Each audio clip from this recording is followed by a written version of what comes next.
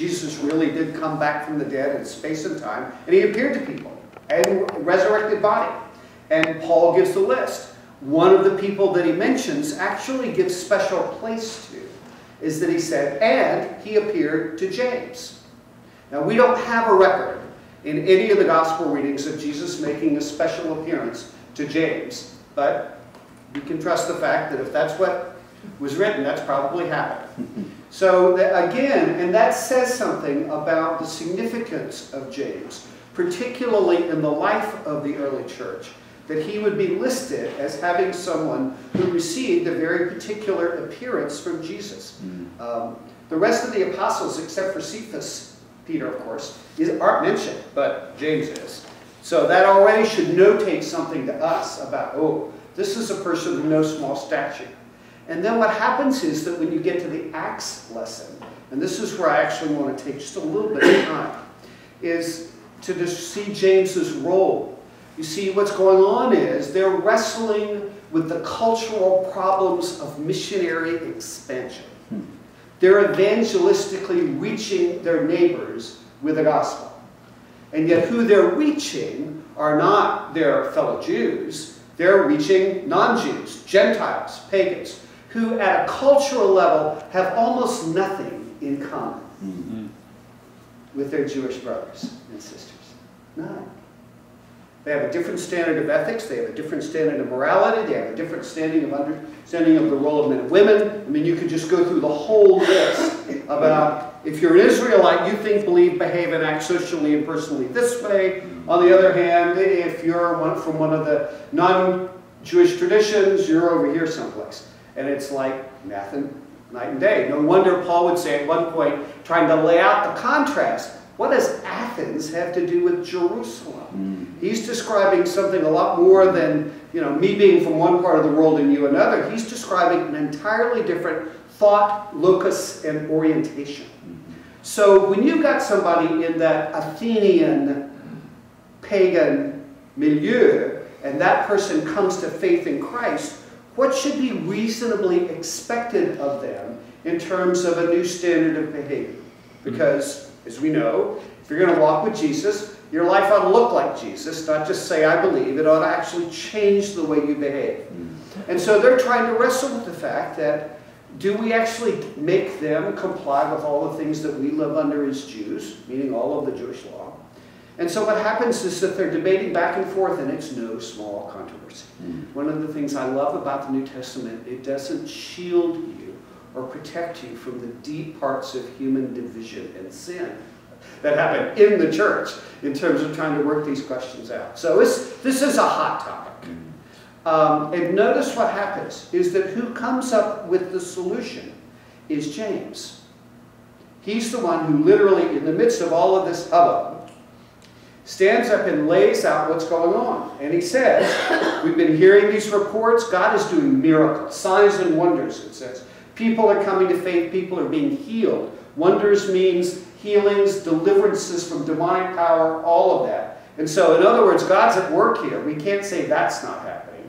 So what do we do? How do we catch up with what God is doing? And, and you know, if you're in the mission field, that's what it feels like. Hmm. How do I catch up with what God is doing? And if you don't feel that way, probably you're not in some kind of mission field, I would want to say. You're more in the maintenance pastoral care mode. But they're on the mission field. And he says, and so he said, look, it's very clear that God is looking favorably on the Gentiles. And this is this what the Lord said he was going to do. And therefore he quotes an Old Testament passage about God rebuilding the tent of David. And what he means by that is that the original vision for the nation of Israel is that they would do more than just be a separate holy people. They would actually be a light to the nations. Mm -hmm. That they would be a place where people could come and see who the true God is and how that true God has revealed himself to these people. So that's what's going on. And quite honestly, whenever you're planning a new church or you're thinking about missionary expansion, that's what you're doing. You're, to use this phrase, you're planting the tent of David. You're raising up a group of people who in their lives and by their declaration reflect who God is and what it is that God is doing. So how do we do all of that? And so James says, notice, Therefore, I have reached a decision. That's a lot of authority. Mm.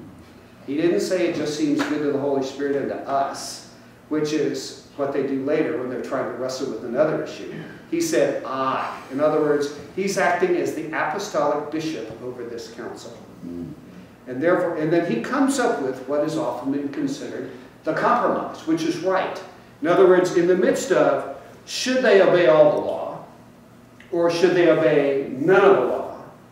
James, in essence, says, for now, it's conditional, it's not for all time. They should do this much.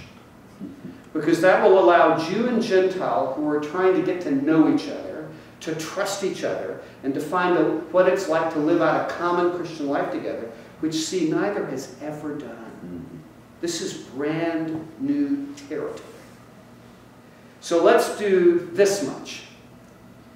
And he lays it out and all the things that you heard. In other words, they're not going to drink blood or take anything that's in blood. They're not going to be engaged in any kind of sexual immorality, which specifically means sexual relationships outside the boundaries of marriage. Mm-hmm. They're not going to go to temples any longer, and they're not going to eat anything that's strangled, and that takes you back to see the Levitical code, dietary code.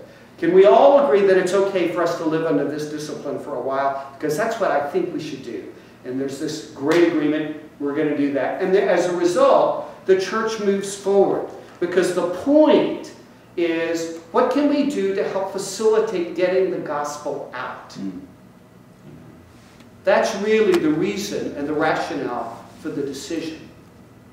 We often wrestle with issues of church controversy that are self-protecting. What can we do to maintain the institution? And that's our driver. That is not the driver in the New Testament. The driver in the New Testament is about what can we do to expand and to get the gospel out?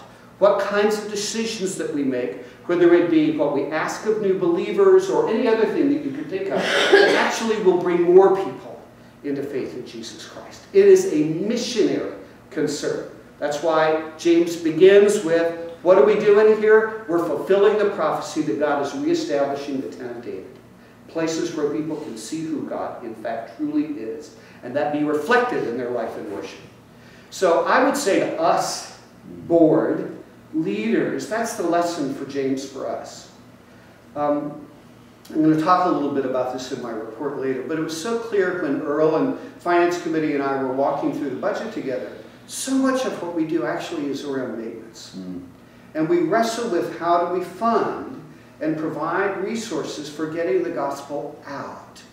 That's a different way of thinking particularly for a diocese that has been captivated, in some ways, primarily with maintenance. So I think we take a clue from James that as we wrestle with these issues, even down to how we do our budget later, mm-hmm. and the other things that come before us from time to time, I want to make sure we're keeping the tent of David in mind, James's priority, whether we're dealing with local church issues, what would best help us get the gospel out? Mm-hmm. So that in fact more and more people are coming to faith in Christ. Because if that's not happening, we're just another institution. Amen. Amen. Amen.